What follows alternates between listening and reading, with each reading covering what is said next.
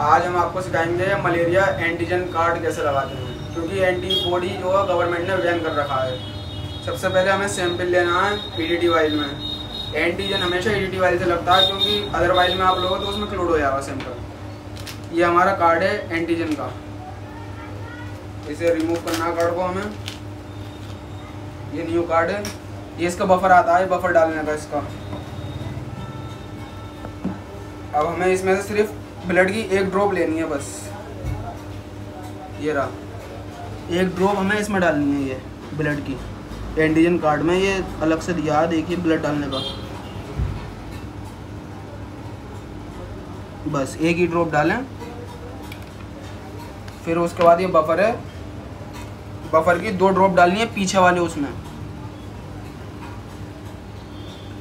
बस। अब ये आपका रिज़ल्ट एक से मतलब दस से पाँच मिनट के अंदर अंदर आ जाएगा। ये अब हमारा रिज़ल्ट आ चुका है मलेरिया कार्ड का, देखिए। ये देखिए सी पर है ये, एक डंडा तो ये कंट्रोल मतलब नेगेटिव अगर पी पर आ गया दूसरा डंडा तो ये वाई वैक्स हो जाएगा। पी वाई वैक्स और अगर ये एफ़ पे आता है, अगर इस पे आता है और इस पे आता है एफ़ पर तो ये हो जाएगा हमारा फेल्सीपेरम। अगर ये दोनों पे याद है तो ये कॉम्बो हो जाएगा। वाइवेक्स एंड फेल्सीपेरम दोनों देना है रिपोर्ट में हमें।